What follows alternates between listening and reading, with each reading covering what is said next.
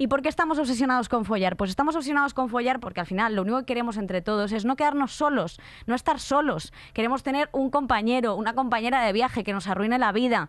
Realmente lo único que no necesitamos es estar solos. Y es muy triste, porque luego enganchas a alguno que no tienes nada en común con él, que va vestido del Jack and Jones, que le gustan los yao yaos, que te lleva al tagliatela. En serio, es mejor que estéis solas que estar con un tío que hace crossfit y usa gomina Georgie. De verdad.